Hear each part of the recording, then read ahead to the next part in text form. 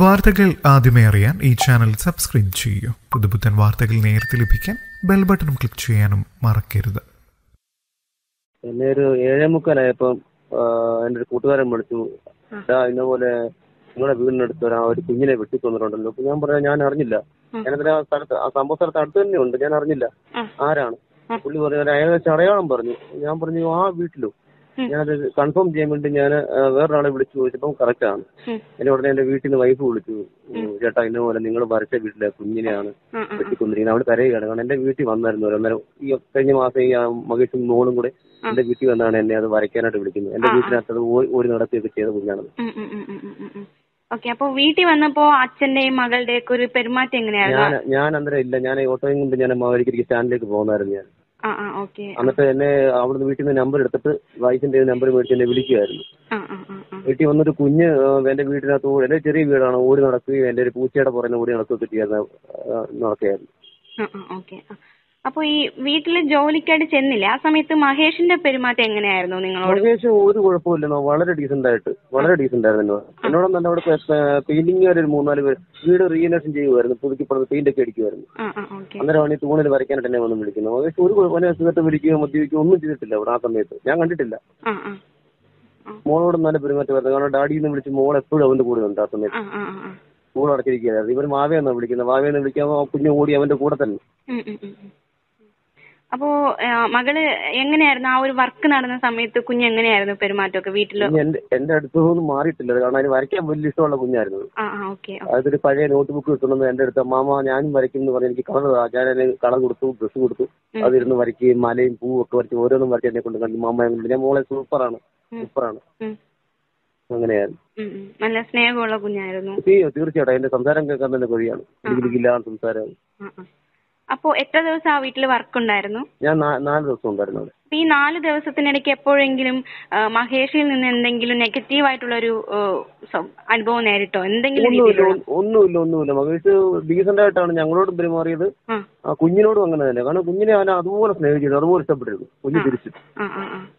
Okay അപ്പൊ ഈ മഹേഷ് മദ്യപിക്കും മയക്കുമരുന്ന് ഉപയോഗിക്കുന്നു അത്തരത്തിലൊക്കെ ഒരു പ്രചരണം ഉണ്ട്.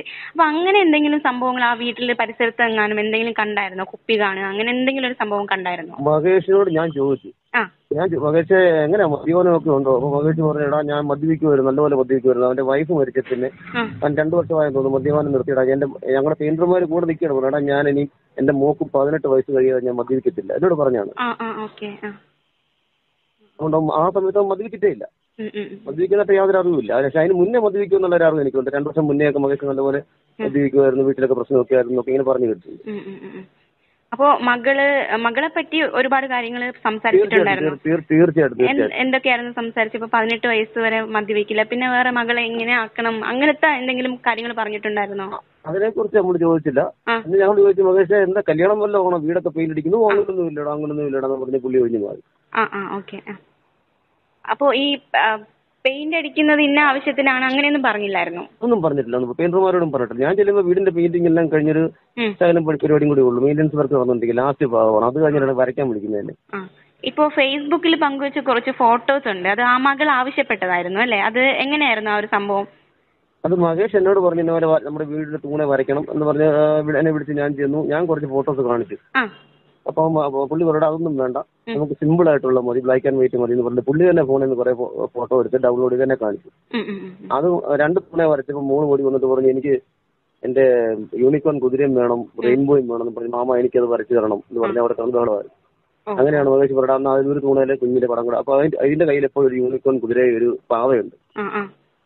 ഇറകുള്ള കുതിര അങ്ങനെ ഞാനത് വരച്ച് തീരുന്നതും വരെ അത് എന്റെ കൂടെ തന്നെ ഉണ്ടായിരുന്നു. അവസാനം തീർന്നപ്പോ മാമ സൂപ്പറാ മാമ സൂപ്പറാ മാമ എന്ന് പറഞ്ഞ് എന്നെ തോളിൽ ഇങ്ങനെ തട്ടി ഭയങ്കരമായിരുന്നു അപ്പൊ എനിക്ക് സങ്കടം ഓർക്കാൻ വയ്യ. അപ്പൊ ഈ മകൾ അമ്മയെ പറ്റി എന്തെങ്കിലും പറഞ്ഞിട്ടുണ്ടോ? പുള്ളിക്ക് സങ്കടമായിരുന്നു പുള്ളിക്ക്. അതായത് പുള്ളി പറഞ്ഞ അവൾ മരിക്കേണ്ട കേന്ദ്രന്മാര് ചോദിച്ചു പക്ഷെ എന്തുകൊണ്ടാണ് വൈഫിന്റെ കാര്യം പറഞ്ഞ് അവൾ അങ്ങനെ ചെയ്യേണ്ട കാര്യമൊന്നുമില്ലായിരുന്നു. എന്ന് പറയുന്നത് പുള്ളി അത് വേറെ രീതിയിൽ ഒരു എന്തായാലും പറയുന്നേ വിഷമ രീതിയിലാണ് പുള്ളി പറയുന്നത്. അപ്പൊ നക്ഷത്ര മോൾ അമ്മയെ പറ്റി എന്തെങ്കിലും പറഞ്ഞിട്ടുണ്ടോ? ഇല്ല ഇല്ല ഇല്ല ഇല്ല. അതിനെ കുറിച്ചൊന്നും പുള്ളി അമ്മയെ കുറിച്ചൊന്നും സംസാരം അങ്ങനെ സംസാരം ഇല്ല അവിടെ. പുള്ളി കുഞ്ഞു കുഞ്ഞിന്റെ ലോകത്തൊരു ടാബ് ഉണ്ട്. അതും കൊണ്ട് കളിച്ച് അവിടെ എല്ലാം നടക്കുക. ഒരു കുടയുണ്ട്. ആ കണ്ടില്ലേ ആ ഒരു റെയിൻബോ കുട ആ മുറ്റത്ത് കിടക്കുന്നുണ്ട് ആ. കോടയും കൊണ്ട് അന്നേരം മഴ സമയമാണ്. ചെറിയ മഴയുണ്ട്. പുള്ളി മഴയത്ത് ചാടി ചാടി ചാടി വെള്ളത്തിൽ കൂടെ നടക്കുക. ഒരു സൈക്കിൾ മേടിച്ചാൽ നമുക്ക് അതിൽ രണ്ട് മൂന്ന് ദിവസമായുള്ള എനിക്ക് തോന്നുന്നു പുള്ളി സൈക്കിൾ അത് മേടിച്ചിട്ട് അത് എല്ലാം ചവിട്ടി നടക്കുക. അതായിരുന്നു പുള്ളിയുടെ പരിപാടി. അപ്പോ ഇത്രയും ദിവസം അവിടെ നിന്ന് ആ സംഭവങ്ങൾ കണ്ടപ്പോൾ മനസ്സിലാക്കാൻ സാധിക്കുന്നത് അമ്മയുടെ ഒരു കുറവില്ലാതെയാണ് ശ്രീ മഹേഷ് ആ കുഞ്ഞിനെ വളർത്തിക്കൊണ്ട് വന്നത്. അതെ മഹേഷ് എവിടെ പോയാലും അവനെ ഞങ്ങൾക്ക് ചായ വാങ്ങാനും ഒക്കെ അവനെ വീട്ടിലാരും ഇല്ലാത്ത കാരണം അമ്മ മകേഷും മ- മോളും മാത്രമേ ഉള്ളൂ. ചായ എല്ലാം ഞങ്ങൾക്ക് പത്ത് മണിക്ക് നാല് മണിക്കും ഒക്കെ ചായ പുള്ളി മോളും കൂടെയാണ് പോയി സ്കൂട്ടറിൽ പോയി വാങ്ങി വാങ്ങിക്കൊണ്ടിരുന്നത്. അപ്പോ ചേട്ടൻ എന്താന്ന് തോന്നുന്നത് എന്തുകൊണ്ടായിരിക്കും അങ്ങനെ മഹേഷ് ചെയ്തത്? ഒരു നിമിഷത്തിൽ എനിക്ക് സം- അതിനെ കുറിച്ച് വ്യക്തമായിട്ട് എനിക്ക് അതിനെ കുറിച്ച് വ്യക്തമായിട്ടൊരിതില്ല. എന്റെ ഒരു ഈ പറഞ്ഞുള്ള ഒരു അറിവ് വെച്ചിട്ടാണെങ്കിൽ മകേഷ് ഒരു കല്യാണം ഈ അടുത്ത സമയത്ത് എന്തോ ഫേസ്ബുക്ക് അത് ഞാനിങ്ങനെ ന്യൂസിൽ കൂടെ അറിഞ്ഞാണ്. ഫേസ്ബുക്കിൽ കൂടെ പരിചയപ്പെട്ട് പോലീസ് ഉദ്യോഗസ്ഥയായിട്ട് കല്യാണമൊക്കെ ഒക്കെ ആ. അപ്പോ എനിക്ക് തോന്നുന്നു അതിന്റെ മുന്നോടിയായിട്ടായിരിക്കാൻ അവൻ വീടൊക്കെ പെയിന്റ് ചെയ്തത്. അപ്പൊ അവന് വീട്ടുകാർ വന്നിട്ട് ഇവിടെ വന്ന് തിരക്കി ഇവന്റെ പഴയകാല കഥകൾ മദ്യപാനവും അവന്റെ വൈഫ് മരിച്ച കഥകളൊക്കെ പറഞ്ഞിട്ട് ആ കല്യാണം മാറിപ്പോയെന്ന് ഇങ്ങനെ ഒരു അറിവുണ്ട്. എനിക്ക് കൃത്യം എനിക്കറിഞ്ഞൂടാ. അപ്പൊ അതിന്റെ ഒരു മാനസിക പ്രശ്നം അവനുണ്ടായിരിക്കാം. പിന്നെ ഇവന്റെ മോളെ ഞാൻ മനസ്സിൽ ചോദിച്ചിരുന്നു മകശെ വൈഫിന്റെ വീട്ടിലേക്ക് മോളെ വിടുവോ? അപ്പൊ അവൻ പറഞ്ഞു "ആ, ഞാൻ വിടത്തില്ല വിടത്തില്ലടാ. അവർ കാണും കാണണം എന്നുള്ളപ്പോ വന്ന് ഉച്ച അപ്പുറത്ത് അമ്മയുടെ കൂടെയാണ് താമസം. മഹേഷിന്റെ അമ്മയുടെ കൂടെയാണ് പകൽ മൊത്തം. അവിടെ വന്ന് കണ്ട് അവർ അന്നേരം തിരിച്ചു പോകും. പക്ഷെ ലാസ്റ്റ് ഇപ്പൊ ഞാൻ അറിഞ്ഞത് ഈ ലാസ്റ്റ് ഈ സ്കൂൾ തുറക്കുന്നതിന് കുറച്ച് ദിവസം മുന്നേ മോൾ അവിടെയായിരുന്നു അമ്മ വീട്ടിലായിരുന്നു എന്ന് അറിഞ്ഞ് അത് സത്യം എനിക്ക് അറിഞ്ഞുകൂടാ. അപ്പൊ എന്റെ രൂപം വെച്ചാണെങ്കിലും കുഞ്ഞ് തിരിച്ചു വന്നിട്ട് വീണ്ടും അങ്ങോട്ടൊക്കെ പോകണം എന്ന് നിർബന്ധം പിടിച്ചു കാണുമായിരിക്കാം. അപ്പം അവനത് അവന്റെ സ്വത്തായിട്ട് കൊണ്ടു നടക്കുന്ന കുഞ്ഞ് അവനെ അവനെ അവനെ വേണ്ടാന്ന് തോന്നുന്നു തോന്നിയൊരു മാനസിക പ്രശ്നം അവന് തോന്നി കാണാം പിന്നെ കല്യാണം മാറിപ്പോയതിന്റെ പ്രശ്നം കാണാം. അതായിരിക്കാം. എനിക്ക് കൃത്യം എനിക്കറിയത്തില്ല കേട്ടോ. എന്റെ ഉള്ളിൽ തോന്നിയാണ്. കാരണം അവൻ അല്ലെങ്കിൽ കുഞ്ഞിനെ കൊണ്ട യാതൊരു കാര്യമില്ല അതുപോലെ അവർ തമ്മിൽ സ്നേഹത്തിലായിരുന്നു. സ്നേഹം നല്ലത് പറയേണ്ടത്. അത്രയും നമുക്കിത് വിശ്വസിക്കാൻ പറ്റുന്നില്ലല്ലോ ഇങ്ങനെ ചെയ്യാം അത്രയും സ്നേഹമായിരുന്ന ഒരാൾ ഇങ്ങനെ ചെയ്യുന്നു നമുക്കിത് അംഗീകരിക്കാൻ പറ്റാത്തൊരു സംഭവമായി മാറിയിരിക്കുകയാണ് അല്ലേ? അതെ അതെ. തീർച്ചയായിട്ടും തീർച്ചയായിട്ടും. അപ്പൊ ഈ ശ്രീ മഹേഷിന്റെ അമ്മ എങ്ങനെയായിരുന്നു? ഈ അയ്യോ അമ്മ അവിടെ വരത്തില്ല. അമ്മ അപ്പുറത്തെ വീട്ടിൽ അവിടെ സിസ്റ്ററിന്റെ വീട് തൊട്ടപ്പുറത്ത്. അവിടെയാണ് അമ്മ. ഇടയ്ക്ക് ഇങ്ങോട്ട് വരും. ഇപ്പൊ ഈ ഈ വീട്ടിൽ തന്നെ ഇവർ താമസിച്ചുകൊണ്ടിരിക്കുകയാണ് ഇപ്പൊ ഇരിക്കും നടക്കുന്നത്. അപ്പൊ സാധനം എല്ലാം വാരി വീടിലിട്ടേക്കുമ്പോ അമ്മ വന്നിട്ട് എല്ലാം അടിക്ക് മാറ്റിയൊക്കെ അങ്ങോട്ടും ഇങ്ങോട്ടൊക്കെ മാറ്റി വെക്കാറുണ്ട്. അമ്മ ഒരു പാവം പിടിച്ച സ്ത്രീയാണ്. ഈ അമ്മയും മകനെ സംസാരിക്കുന്നതോ അല്ലെങ്കിൽ വഴക്കിടുന്നോ അങ്ങനെ എന്തെങ്കിലും കണ്ടിരുന്നോ ഈ ഒരു വഴക്കിടുന്നൊന്നും കണ്ടിട്ടില്ല. ഇവർ അമ്മ വന്നിട്ട് എടാ അത് എന്ത് സാധനം എന്ത് ബില്ല് എന്ത് ചോദിക്കാൻ പോലെ അവിടെ ഇരിപ്പുണ്ട്. എന്തെങ്കിലും ടെലിഫോണിന്റെ ഒക്കെ ബില്ലായിരിക്കും ചോദിക്കും ഞാൻ നാല് ദിവസം ഉണ്ടായിരുന്നു. അത്രയല്ല. അമ്മ അങ്ങനെ വരാറില്ല അങ്ങോട്ട്. അപ്പൊ ഈ വന്നപ്പോഴൊക്കെ ശ്രീ മഹേഷ് അമ്മയും സ്നേഹത്തോടെ തന്നെയാണോ സംസാരിച്ചുകൊണ്ടിരുന്നത് വെറുപ്പ് ദോഷം വെറുപ്പൊന്നുമില്ല. അവർ കാര്യങ്ങൾ മാത്രം സംസാരിക്കാറുണ്ട് മഴക്കും വഴക്കും കാര്യങ്ങളൊന്നും തൊട്ടിട്ട് ഞാൻ കണ്ടില്ല. ആ ഓക്കെ ഓക്കെ. താങ്ക് യു ചേട്ടാ ഇത്രയും പ്രതികരിച്ചതിന്. വേറെ എന്തെങ്കിലും പറയാനുണ്ടോ ഈ ഒരു സംഭവത്തെ കുറിച്ച് എനിക്ക് തോന്നുന്നത് അത് തന്നെയാണ്. ഞാൻ മുമ്പേ പറഞ്ഞത് തന്നെയാണ്. അവന്റെ ആ കല്യാണം മാറി സത്യമാണെന്ന് എനിക്ക് കല്യാണം മാറിപ്പോയതിന്റെ ഒരു മാനസിക ഒരു പ്രശ്നം കാണും. രണ്ട് കുഞ്ഞ് അമ്മ വീട്ടിലേക്ക് പോകണമെന്ന് പറഞ്ഞത്. അപ്പൊ അവൻ അതിന്റെ അഭിഭ്രാന്തിയിൽ. അന്നേരത്തെ ആ മാനസിക നില തെറ്റിയിട്ട് ചെയ്തതാണ്. ഇത് അതിന്റെ ആ സമയം കഴിഞ്ഞപ്പോ അവന് ബോധ്യം പോകുന്നു അവൻ ആരുമില്ല മോളും പോയി ആരുമില്ല. അതിന്റെ പേരിലാണ് അവനെ. ആത്മഹത്യക്ക് ശ്രമിച്ചത്. എനിക്ക് എന്റെ ഒരു കാഴ്ചപ്പാടിൽ മകേഷ് ആത്മഹത്യ ചെയ്തു തന്നെ ചെയ്യും. കാരണം അവന്റെ അവൻ ആരുമില്ല ജീവിതത്തിൽ അവന് പ്രതീക്ഷിക്കാൻ ആരുമില്ല. അപ്പൊ അവൻ ആത്മഹത്യ ചെയ്തു തന്നെയാണ് ചെയ്യുമെന്ന് എനിക്ക് തോന്നുന്നു കാരണം ആ കുഞ്ഞിന്റെ അത്രയും മകേഷ് ആ കുഞ്ഞിനെ സ്നേഹിച്ചിരുന്നു. അപ്പോ തീർച്ചയായിട്ടും തീർച്ചയായിട്ടും. ഏതോ ഒരു നിമിഷത്തിൽ പറ്റിപ്പോയതാണ്. അപ്പൊ ഇനി അത് അവനത് ക- കുഞ്ഞ് കൈവിട്ടു പോകുന്നുള്ളൊരു ചിന്ത കൊണ്ടാകാം അങ്ങനെ ആകാം സംഭവിച്ചത്. ആ ആ ഓക്കെ.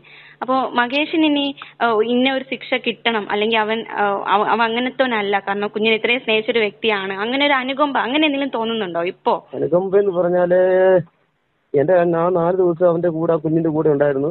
അവന്റെ കയ്യിൽ നിന്ന് തെറ്റായിട്ട് ഞാനൊന്നും കണ്ടിട്ടില്ല. അതായത് മോശം പെരുമാറ്റമോ മോശം സ്വഭാവ രീതിയോ ഒന്നും ഞാൻ കണ്ടില്ല. അപ്പൊ അതിൽ നിന്ന് എനിക്ക് അവൻ ചെയ്ത അങ്ങേയറ്റം ലോകം നമുക്ക് നമുക്ക് ആർക്കും അംഗീകരിക്കാൻ പറ്റാത്ത നീതീകരിക്കാൻ പറ്റാത്തൊരു ശിക്ഷ കുറ്റമാണ് അവൻ ചെയ്തിരിക്കുന്നത്. കുഞ്ഞിനെ കൊന്നു കളഞ്ഞത്. അത് ഒരു മനസാക്ഷിയില്ലാതെ കൊന്നു കളഞ്ഞു വെട്ടി കൊന്നു കളഞ്ഞത്. അപ്പൊ അതിനുള്ള ശിക്ഷ അവന് കിട്ടുക തന്നെ വേണം എന്നുള്ളതാണ് എന്റെ അഭിപ്രായം. എന്തെല്ലാം കാരണങ്ങൾ ഉണ്ടെന്ന് പറഞ്ഞെന്ന് പറഞ്ഞാൽ അവൻ ചെയ്തത് തെറ്റാ. ഒരിക്കലും നമുക്ക് അംഗീകരിക്കാൻ പറ്റത്തില്ല.